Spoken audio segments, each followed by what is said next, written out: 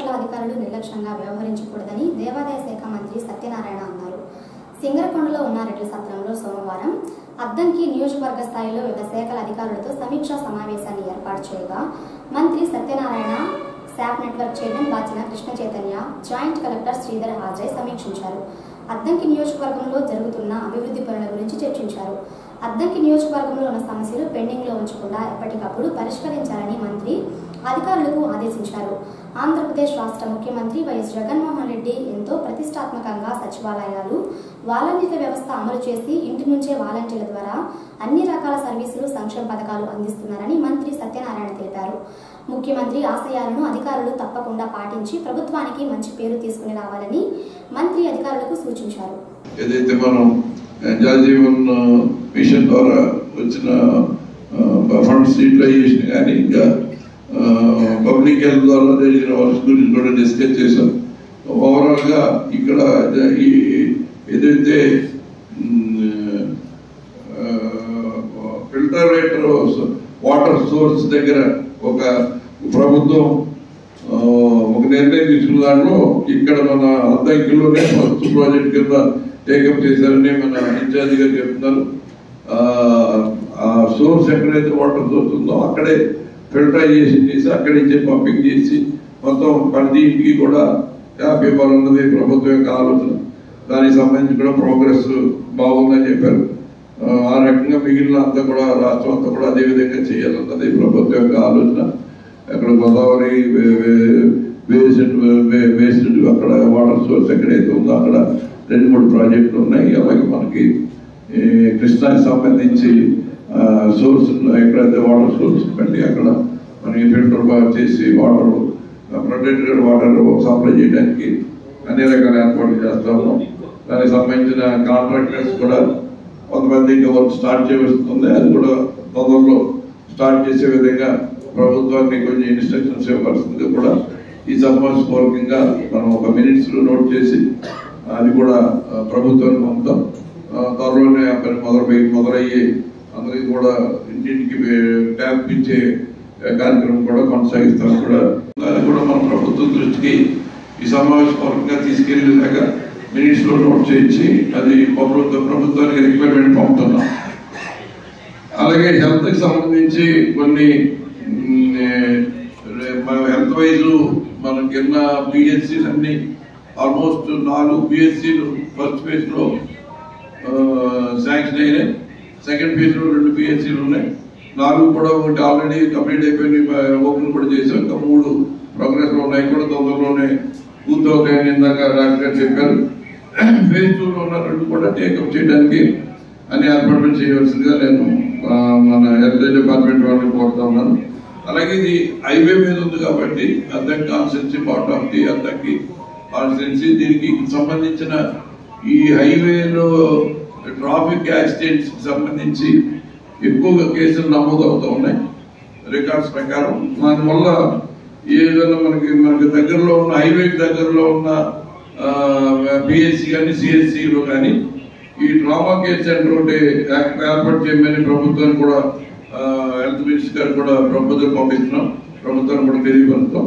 ఖచ్చితంగా ఒక drama care centre ఏర్పాటు చేయడానికి ఈ సమావేశ పూర్వకంగా మనం నిర్ణయం తీసుకున్నామని కూడా చెప్తా. అలాగే ఈ గుండ్లగమ్మ ప్రాజెక్టు సంబంధించి మరి ల్యాండ్ ఎక్విషన్లో ఆర్ అండ్ సంబంధించి కానీ ల్యాండ్ ఎక్విషన్ కానీ ఇంకా మనం దానికి సంబంధించిన కొన్ని ఇష్యూస్ పెండింగ్లో ఉన్నాయి. దీనికి సంబంధించి ఒక నూట పది కోట్ల వరకు కూడా రిక్వైర్మెంట్ ఉందని ఓవరాల్గా ఇక్కడ ఉన్న మన ఇంజనీర్ కానీ ఓవరాల్గా రిక్వైర్మెంట్ గురించి చెప్తున్నారు. దీనికి సంబంధించి కూడా గవర్నమెంట్కి ఈ విషయం తెలియజేసి తొందరగా ఈ ఆర్ అండ్ ఆర్ కెనాల్ మీదే మనం ఎక్కువ డిపెండ్ అయి ఉన్నాం కాబట్టి ఇప్పటి వరకు ఉన్న రెయిన్ఫాల్ బట్టి మనం ఎంత ఏరియాకి నీళ్ళు ఇవ్వగలుగుతాం అన్నది మనం ఈ మంత్ ఎండింగ్ కానీ పూర్తిగా ఆ, మంత్ ఎండింగ్కి మనం హోప్ఫుల్లీ ప్రాజెక్ట్స్ అన్నీ కూడా ఫుల్ అవుతాయని హోప్తున్నాం అది అదే అది చిన్న ఇట్రా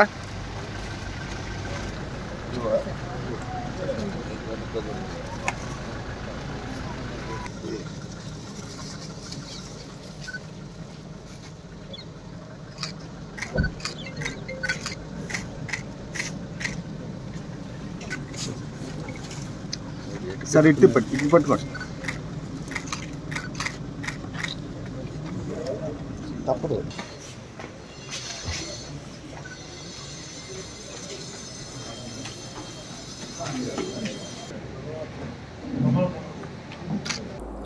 ఉపాధ్యాయులకు జీతాలు చెల్లించకుండా గ్రూపు జోత్సవం రోజు సత్కరిస్తామంటే ఎవరు నమ్మే పరిస్థితుల్లో లేరని అద్దంకి శాసనసభ్యులు గొట్టిపాటి రవికుమార్ విమర్శించారు. అద్దంకి నియోజకవర్గంలో ఎమ్మెల్యే రవికుమార్ సోమవారం పర్యటించగా తెలుగుదేశం పార్టీ నాయకులతో ముచ్చటించారు. ఐదో తేదీ వచ్చిన రాష్ట్రంలో ఇంకా ఉపాధ్యాయులకు జీతాలు రాకపోవడం బాధాకరమైన విషయమని ముఖ్యమంత్రికి గ్రూపు జోత్సవం జరిపే అర్హత లేదన్నారు. వైసీపీ అధికారంలోకి వచ్చిన తర్వాత ఉద్యోగుల్లో ఉపాధ్యాయుల దినోత్సవం కలపోయిందన్నారు. ప్రతి వారం అప్పు ముడితే కానీ రాష్ట్రాన్ని నడపలేని అసమర్థ వైసీపీ ప్రభుత్వం అని దుయ్యబట్టారు. పిల్లలకు పాఠాలు చెప్పే ఉపాధ్యాయులు రోడ్ల మీదకు వచ్చి నిరసనలు ఉద్యమాలు చేసే పరిస్థితికి తీసుకుని వచ్చారని. గతంలో నలభై మూడు శాతం పీఆర్సీ ఇస్తే తప్పుపట్టిన జగన్ నేడు అసలు వేతనాలకు ఎసురు పెట్టారని. అధికారంలోకి వచ్చినప్పటి నుంచి రివర్స్ పాలన తప్ప పురోభివృద్ధి రాష్ట్రంగా ఆంధ్రప్రదేశ్ చరిత్రలో దిగజారిందన్నారు. ఇప్పటికైనా ముఖ్యమంత్రి స్పందించి ఉపాధ్యాయ ఉద్యోగుల సమస్యలు పరిష్కరించాలని ఎమ్మెల్యే రవికుమార్ ఉద్యోగుల పట్ల డిమాండ్ చేశారు.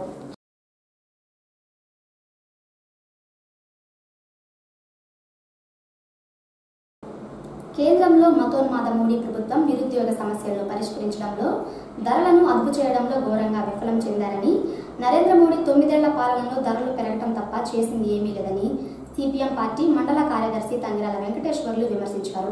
నిరుద్యోగం విద్యుత్ ఛార్జీలు అధిక ధరలకు వ్యతిరేకంగా సోమవారం అద్దంకి మండల తహసీల్దార్ కార్యాలయం ముందు సిపిఎం పార్టీ ఆధ్వర్యంలో ధర్నా చేశారు. ముందుగా వారి డిమాండ్స్పై నినాదాలు చేస్తూ నిరసనలు తెలియజేశారు. ఈ సందర్భంగా మండల తహసీల్దార్ సుబ్బారెడ్డికి వినతి పత్రం అందజేశారు.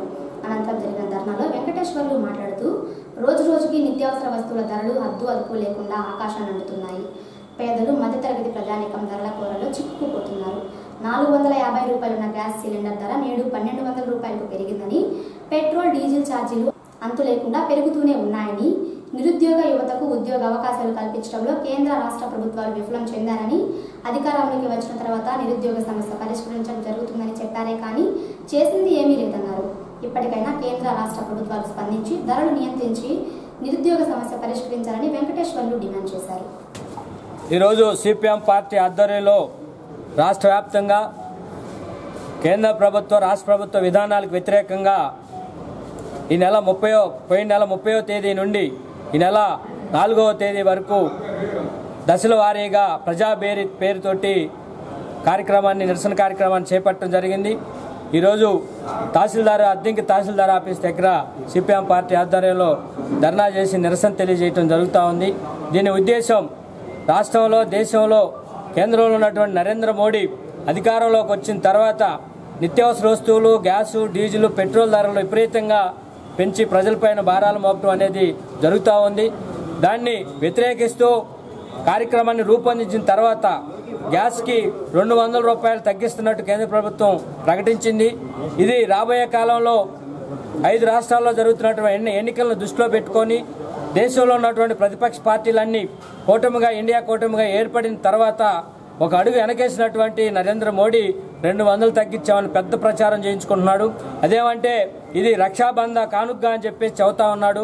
నరేంద్ర మోడీ అధికారంలోకి రాకముందు నాలుగు వందలు ఉన్నటువంటి గ్యాస్ ధర ఈరోజు పదకొండు వందల యాభై రూపాయలు చేసి దానిలో రెండు వందలు తీసేసి ఇదే పెద్ద గొప్పగా ప్రచారం చేసుకున్నటువంటి పరిస్థితి ప్రజలందరూ ఆలోచించాలని చెప్పేసి తెలియజేస్తా ఉన్నాం.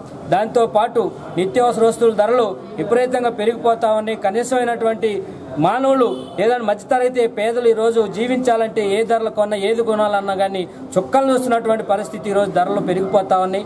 ఈ ధరలు అరికట్టడంలో కేంద్ర రాష్ట్ర ప్రభుత్వాలు వైఫల్యం చెందాయి. రైతులు పండించినటువంటి పంట గిట్టుబాటు ధర లేకుండా చేస్తా ఉన్నారు. అదేవిధంగా రైతులకి రావాల్సినటువంటి రాయితీలని ఇవ్వకుండా చేస్తా ఉన్నారు. పంటలు పండించినటువంటి రైతుల్ని కొనేటప్పుడేమో తక్కువగా ఉన్నాయి అమ్మేటప్పుడు మార్కెట్లోకి వచ్చిన తర్వాత విపరీతమైనటువంటి రేట్లు పెరుగుతూ ఉన్నాయి అందుకని వీటన్నిటికి నిరసనగా ఈరోజు నిరుద్యోగం సంబంధించినటువంటి తీవ్రమైనటువంటి సమస్య ఈరోజు. నరేంద్ర మోడీ ప్రభుత్వంలోకి రాకముందు కేంద్ర ప్రభుత్వంలోకి అధికారం వచ్చిన తర్వాత లక్షలాది మందికి ఉద్యోగాలు ఇస్తామని చెప్పినటువంటి హామీ ఇచ్చినటువంటి నరేంద్ర మోడీ వచ్చిన తర్వాత ఒక్క ఉద్యోగం కూడా అయినటువంటి పరిస్థితి. జన్ధన్ ఖాతాలో ప్రతి ఖాతాలో పదిహేను లక్షలు వేస్తానని చెప్పేసి హామీ ఇచ్చాడు. ఒక్క రూపాయి కూడా జన్ధన్ ఖాతాలో రూపాయి కూడా పడలేదు.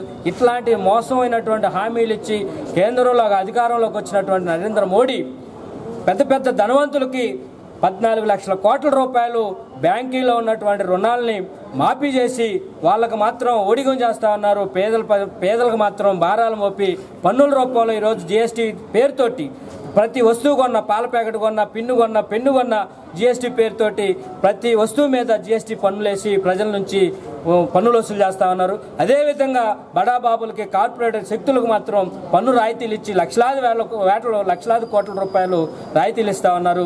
ఇది దుర్మార్గమైనటువంటి వైఖరికి సిపిఎం పార్టీ వామపక్షాలు మిగతా దళిత ప్రజా సంఘాలు అన్ని కలిపి ఈరోజు దేశ రాష్ట్ర వ్యాప్తంగా ఈ నిరసన కార్యక్రమాన్ని చేపట్టడం అనేది జరుగుతూ ఉంది. గత పది సంవత్సరాల నుండి మన భారతదేశంలో మతోన్మాద బీజేపీ పార్టీ రాజ్యం వెళ్తుంది. నిత్యావసర ధరలు పెట్రోల్ ధరలు ఆకాశాన్ని అంటాయి.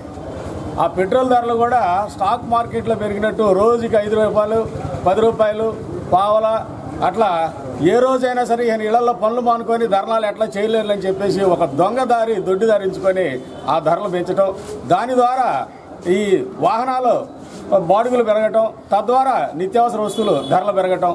చివరికి కూరగాయల ధరలు కూడా ఆకాశాన్ని అంటే కనీసం టమాటో కొనుక్కొని తినేటువంటి పరిస్థితుల్లో ఈరోజు భారత ప్రజలు లేరు. అలాంటి దుస్థితికి భారతదేశాన్ని తెచ్చింది ఈ బీజేపీ పార్టీ. అదేమంటే ఉద్యోగ అవకాశాలు కల్పించరు. ఉద్యోగాలు కల్పించడం బాబు అంటే ఈ రిజర్వేషన్లు ఎక్కడ? ఎస్సీ ఎస్టీ బీసీ మైనార్టీలు పొంది మరలా ఉద్యోగాలు పొందుతారని ఉన్నటువంటి ప్రభుత్వ సంస్థలను కూడా ప్రైవేట్ పరం చేసేస్తున్నారు. అటు రిజర్వేషన్లు అమలు చేయరు ఉద్యోగ అవకాశాలు కల్పించరు. ఉన్న ఇంతకుముందు గవర్నమెంట్లు ఇంతకుముందు ప్రభుత్వాలు స్థాపించినటువంటి సంస్థలను కూడా కాపాడుకోలేని స్థితి దుస్థితిలో ఈరోజు ఈ బీజేపీ ప్రభుత్వం ఉన్నది. అదేవిధంగా ఏదైనా ధర్నాలు చేయడానికి ఏదైనా వాడు చేసే అక్రమాలను ప్రశ్నించడానికి ప్రజలు ఐక్యంగా ఉండకూడదని చెప్పేసి మతాల పేరిట తినేటువంటి ఆహారం పేరిట కులాల పేరిట ప్రజల మధ్య స్విచ్ పెట్టి వీళ్ళని విభజించి ఉన్మాద ప్రభుత్వం ఈరోజు భారతదేశాన్ని నాశనం చేస్తుంది ప్రజాస్వామ్యాన్ని కూలి చేస్తుంది. ఆ విషయాన్ని మేము ఎస్సీ ఎస్టీ బీసీ మైనార్టీ ఐక్యవేదిక రాష్ట్ర అధ్యక్షుడిగా ఖండిస్తూ ఈ విషయంలో ఏ మాత్రం కూడా తగ్గమని చెప్పేసి నిత్యావసర ధరలు తగ్గించి యువతకు ఉద్యోగ అవకాశాలు అవకాశాలు కల్పించి ప్రభుత్వ రంగ సంస్థలను పునరుద్ధరించి వాటిని నమ్మకుండా చేసేంత వరకు అవసరమైన ప్రాణత్యాగానికని సిద్ధపడతామని మేము ఐక్యవేదిక తరఫున తెలియజేస్తూ ఈ కార్యక్రమాన్ని చేపట్టినటువంటి సిపిఎం పార్టీ వారికి ప్రత్యేకమైనటువంటి ధన్యవాదాలు తెలియజేస్తున్నాం.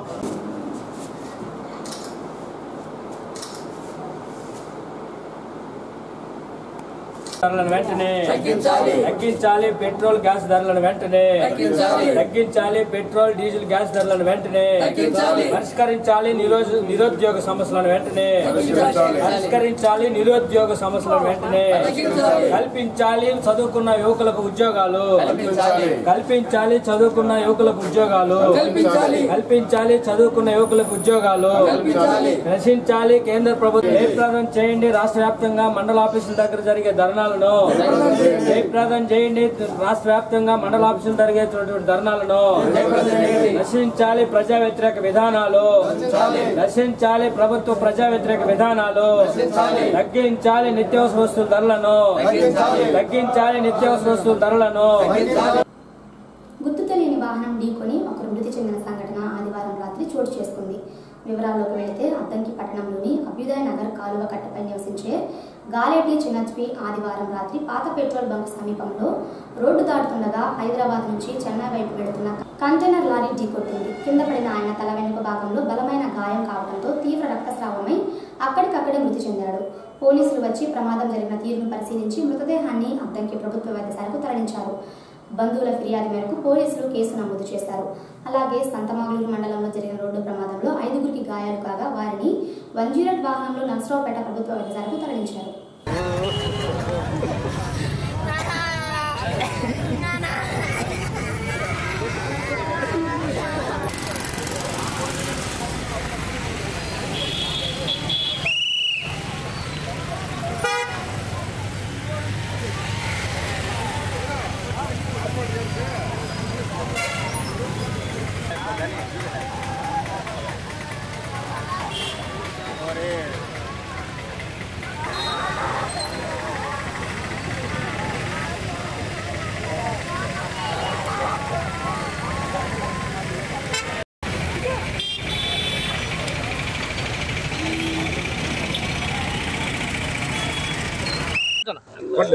కూర్చోబెట్టా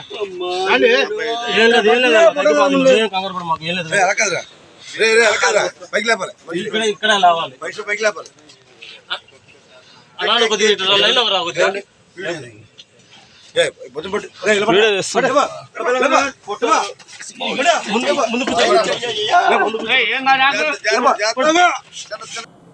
ఎల్ఐసి ఏజెంట్లు ఖాతాదారుల పట్ల ప్రేమ ఆప్యాయతలు కలిగి ఉండి వ్యాపార రంగంలో రాణించాలని ప్రస్తుతం ఎల్ఐసి వ్యాపార రంగంలో కాస్త వెనుకబడి ఉందని తిరిగి పునరుద్ధరించాల్సిన బాధ్యత ఎల్ఐసి ఏజెంట్లపై ఉందని ఎస్ మధుకృష్ణ అన్నారు. అద్దంకి ఎల్ఐసి కార్యాలయంలో సోమవారం ఎల్ఐసి ఏజెంట్ల దినోత్సవం సందర్భంగా వేడుకలను నిర్వహించారు. ముందుగా బ్రాంచ్ మేనేజర్ ఎల్ఐసి ఏజెంట్లు కలిసి కేక్ కట్ చేశారు.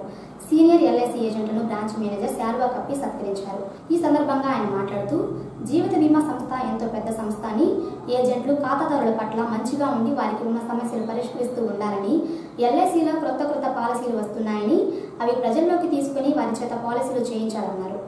వ్యాపార రంగంలో సంస్థ అభివృద్ధి చెందితే అందరూ బాగుంటారని మధుకృష్ణ తెలిపారు. కొందరు ఏజెంట్లు ఇతర ప్రాంతాలకు వెళ్ళి మరీ నూతన పాలసీలు చేయిస్తూ అందరి మన్ననలు పొందుతున్నారని అందరూ వారిని ఆదర్శంగా తీసుకోవాలని దేశంలోకి రావడం అనేది it is as good as a friendship family అనమాట సో మనందరిది ఏంటి? ఫ్రెండ్షిప్ ఫ్యామిలీ మనంతా that is the meaning of that song చాలా అంటే చాలా బాగుంది సాంగ్ చాలా నేషనల్గా చాలా ఫేమస్ అయిన సాంగ్ అనమాట వినండి. రెండు మూడు సార్లు వినండి. మూడు సార్లు వినండి. మనసు ఎంతో ఆనందంగా ఉంటుంది. సో అందరం ఫ్రెండ్స్ ఇక్కడ. నువ్వు లేదు నేను లేదు నా పైన లేదు కింద లేదు. Everybody is equal everybody is equal in eyes of nature అందరం ఒకటే. సో అందరూ అంటే ఆ బ్రదర్ ఈ ఫుడ్ ఈవెన్ కస్టమర్స్ కొత్త కస్టమర్స్ కూడా ఏమవుతారు? మన కస్టమర్స్ కాదు. They're brothers to us they're family to LIC అనమాట ఆ భావన మీద మనం వర్కౌట్ చేసుకోవాలి. That is the meaning of that song ఆ సాంగ్ మీనింగ్ అంటే అదనమాట అర్థమైంది కదా? సో అది ఆ సాంగ్ వినండి. అంటే చాలా అంటే చాలా ఇన్స్పైరింగ్ ఉన్న సాంగ్ అట్లానే ఎల్ఐసి అనేది పెద్ద ఫ్యామిలీ అనేది ప్రపంచంలో కలిపిన ఫ్యామిలీ అంటే ఎల్ఐసి ఫ్యామిలీ ఒకటే. వాళ్ళు చిన్న చిన్న ఫ్యామిలీస్ చాలా ఉండొచ్చు కానీ ఒక చెప్పుకునే ఎల్ఐసి ఒక ఫ్యామిలీ అంటే పెద్ద ఫ్యామిలీ మన ఇంటర్నేషనల్లో మనం ఒకటే ఉన్నాం సో మనం యాక్చువల్గా ఎల్ఐసి ఇంత జనరేట్ అవ్వడానికి ఏంటంటే బిజినెస్ అనేది కారణం. బిజినెస్ అనేది మనకి బాగా కొద్దిగా ఆగండి బిజినెస్ అనేది ఎంతో కొంత మనకి డెవలప్ అవ్వడానికి రీజన్ ఏంటంటే మీరు మార్కెట్లో తిరగడం మార్కెట్లో సపోర్ట్ చేసాం. ఏజెంట్స్ గురించి ఒక మంచి కామెంట్ కూడా నేను మీకు సర్క్యులేట్ చేయడం జరిగింది. అసలు యాక్చువల్గా ఏజెంట్ అనేవాళ్ళు ఎవరు అంటే ఆ కస్టమర్ కన్నీరు తుడిచేవాడు ఏజెంట్ మిత్రుడు. ఒక ప్రాబ్లం వస్తే సాల్వ్ చేసేవాడు ఏజెంట్ మిత్రుడు. అసలు ఈ ఆర్గనైజేషన్ పెరగడానికి ముఖ్య కారణం ఎవరంటే ఒక ఏజెంట్ మిత్రుడు. నేనున్నాను అని చెప్పే అంటే నువ్వు నేను కూడా నీ ఫ్యామిలీ ఒక వ్యక్తిని అని చెప్పుకునే వాళ్ళు ఎవరంటే ఏజెంట్ మిత్రుడు ఒకటే. అసలు ఎంత బాగుందంటే అసలు ఆ మెసేజ్ విధంగా నిజం అదంతా నిజమే మనం తిరిగి ఆలోచన చేస్తే those words are very very real అనమాట చాలా అంటే చాలా ఎక్సలెంట్గా మనకు అనిపిస్తుంది. సో మనం అందరూ ఏంటంటే నా ఉద్దేశం కూడా ఏంటంటే మనందరం ఒక బ్రదర్లీ రిలేషన్గా మనం మెయింటైన్ చేసుకుంటూ చిన్న చిన్న డిస్ప్యూట్స్ వస్తుంటాయండి ఆర్గనైజేషన్ కానీ that is not the basis చివరికి అందరం ఒకటే. అందుకే ఎల్ఐసి ఫ్యామిలీ అన్నాం. ఎల్ఐసి ఫ్యామిలీ ఇట్లా చిన్న చిన్న డిస్ప్యూట్స్ వస్తాయి. వదిలేసిపోతామా అట్లానే ఇంత పెద్ద ఆర్గనైజేషన్లో ఏదో కొన్ని కొన్ని లోపాలు ఉంటా ఉంటాయి. దాన్ని సరిదిద్దుకొని ముందుకు పోవడమే మన లక్ష్యం. సార్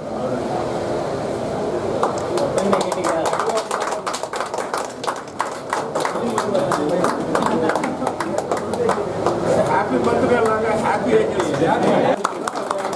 వీళ్ళు senior మూడు సంవత్సరాలు నమ్మకంగా మన ఎల్ఐసిలో నుండి మన ఎల్ఐసి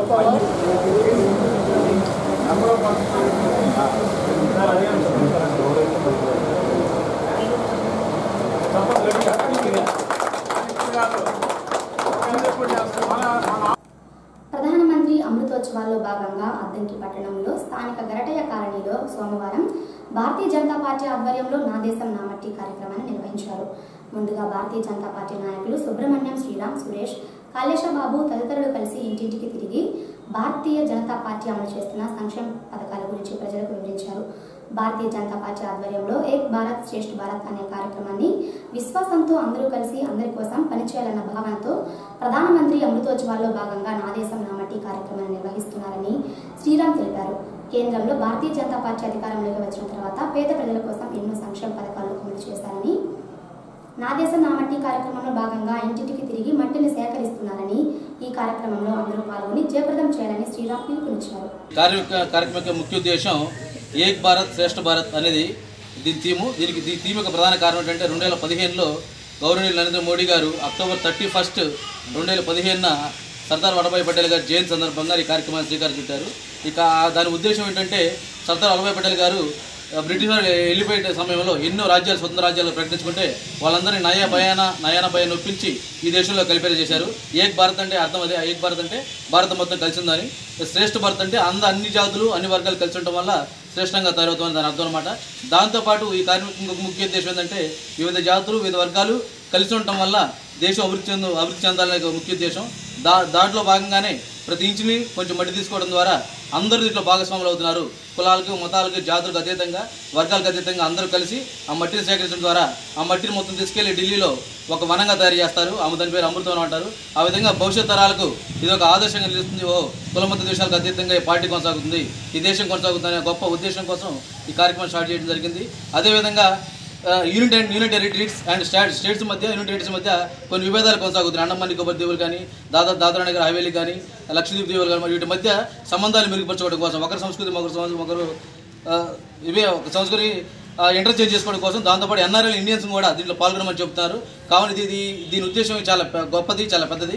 కావున ఇటువంటి గొప్ప కార్యక్రమానికి రెండు వేల పదహారులోనే శ్రీకారం చుట్టిన నరేంద్ర మోడీ గారికి ధన్యవాదాలు తెలుపుకుంటూ మనం మరొకసారి ఈ కార్యక్రమానికి ప్రధాన ఉద్దేశం ఉద్దేశమైనటువంటి సర్దార్ వల్లభాయ్ పటేల్ గారిని మళ్ళీ మళ్ళీ స్మరించుకుంటూ